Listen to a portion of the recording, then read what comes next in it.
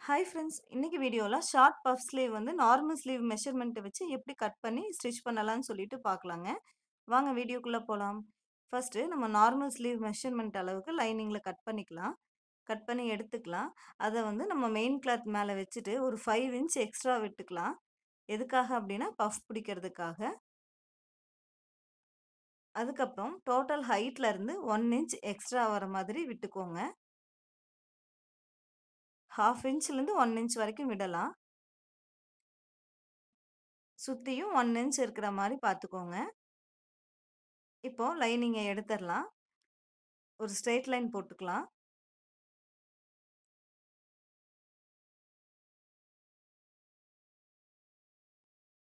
அதுக்கப்புறம் ஒன்றரை இன்ச் உள்ள தள்ளி மார்க் பண்ணிக்கோங்க. இது எதுக்காகனா இந்த பாயிண்ட்லேருந்து தான் நம்ம பஃப் பிடிக்க ஆரம்பிக்கணும். ஒன்றரை இன்ச் மார்க் பண்ணிவிட்டு அதை ஒரு சின்ன கட் கொடுத்துக்கலாம். ஓகே. இப்போ வந்து நம்ம சுருக்கு பிடிச்சி தைச்சிடலாம் எப்படின்னு பாருங்கள் ஃபஸ்ட்டு நம்ம அந்த கட் கொடுத்தோம் இல்லைங்களா? அந்த பாயிண்ட்டை வந்து மார்க் பண்ணிக்கோங்க. இதுக்குள்ளே வந்து நம்ம பஃப் பிடிக்கணும். சின்ன சின்னதாக ஒரு ஹாஃப் இன்ச் உள்ள தள்ளி மடக்கி சின்ன சின்னதாக பிடிச்சிக்கோங்க. அப்போ தான் அழகாக இருக்கும்.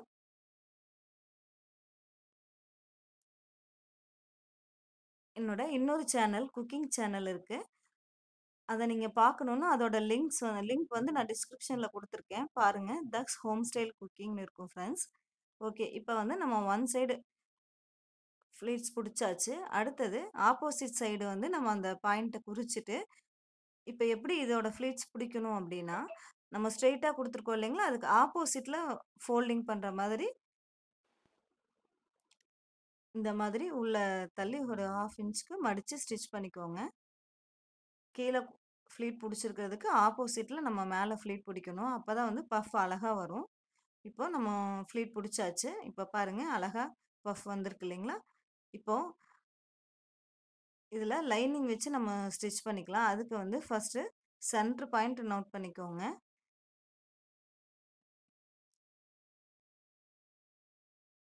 மெயின் கிளாத்து மேலே லைனிங்கை வச்சு நம்ம ஒரு ஹாஃப் இன்ச்சுக்கு ஸ்டிச் பண்ணிக்கலாம்.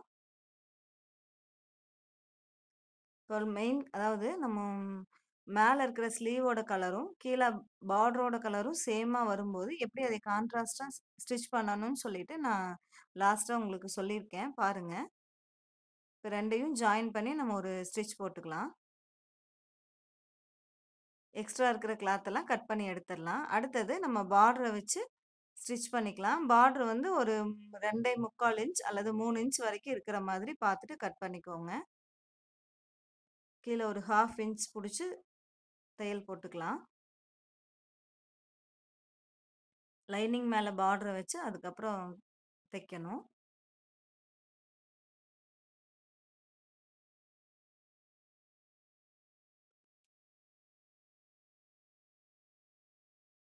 அதை அப்படியே திருப்பி ஒரு படிமான தையல் போட்டுக்கலாம்.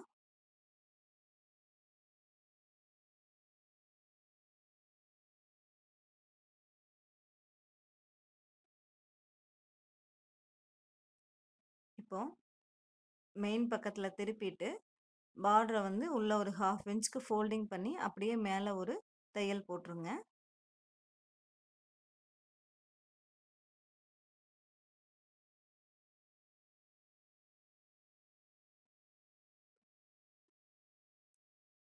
கீழே எஜ்ஜிலையும் ஒரு தையல் போட்டுக்கலாம் ஃப்ரெண்ட்ஸ். இந்த மாதிரி மெத் ஃபாலோ பண்ணி நீங்கள் ஸ்டிச் பண்ணும்போது ரொம்ப ஈஸியாக இருக்கும். அதுக்கப்புறம் நம்ம இதோட கான்ட்ராஸ்டாக வர்றதுக்காக நம்ம சாரியோட கலர் என்னவோ அதுக்கு தகுந்த மாதிரி நீங்கள் லேஸ் எடுத்துக்கலாம். லேஸ் எடுத்துகிட்டு கீழே வந்து நீங்கள் அந்த ஒன் இன்ச் பார்டர் மடித்து ஸ்டிச் பண்ணியிருக்கோம் இல்லைங்களா? அது மேலே வச்சு அந்த லேஸை வந்து நம்ம ஸ்டிச் பண்ணிக்கலாம்.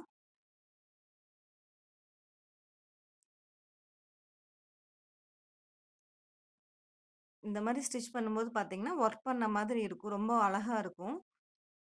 பார்டரும் மேலே ஸ்லீவோட கலரும் ஒன்றா வரும்போது இந்த மாதிரி நீங்கள் கான்ட்ராஸ்டாக வர்றதுக்காக ஸ்டிச் பண்ணிக்கலாம்.